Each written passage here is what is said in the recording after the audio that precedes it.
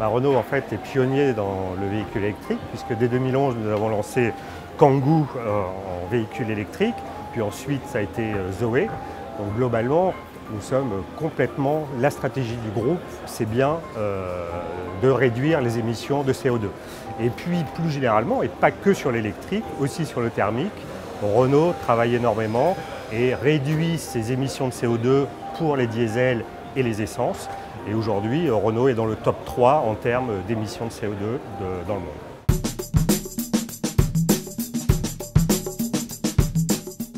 La stratégie de Renault pour essayer de mobiliser les gens autour de ça, ça a été de proposer une gamme qui soit attractive et surtout à un prix qui soit acceptable. Euh, donc toute la stratégie de Renault, ça a été de proposer par exemple Zoé avec un coût d'usage et d'achat à peu près équivalent à celui d'une Clio.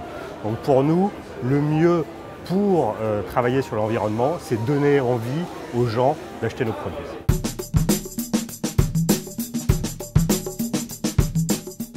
Alors Renault, en termes d'innovation sur le véhicule électrique, on peut dire que c'est un peu une innovation euh, permanente, puisqu'en fait c'est un champ qui est relativement neuf.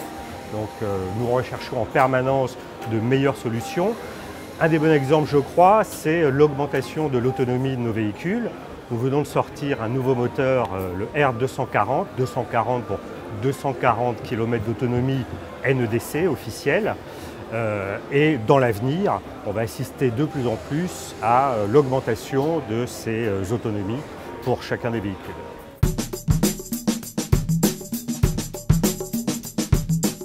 Pour nous, en fait, les réglementations sont plus une opportunité, voire une énorme opportunité, puisqu'en fait on sait aujourd'hui que le véhicule électrique ne peut pas être rentable s'il n'y a pas un accompagnement de la part des États. Euh, un très bon exemple, c'est en France aujourd'hui, avec une prime, un bonus qui peut aller jusqu'à 10 000 euros si on échange un vieux diesel pour un véhicule électrique, fait qu'aujourd'hui, plus de 1% du marché est fait par de l'électrique. En 2011, c'était seulement 0,1%. Donc on voit que c'est absolument euh, nécessaire. Un très bon exemple aussi, c'est la Norvège, qui non seulement fait des incitations fiscales, mais aussi beaucoup d'aides comme le parking gratuit, les péages gratuits. Et aujourd'hui, 16% du marché est fait par le véhicule électrique en Norvège.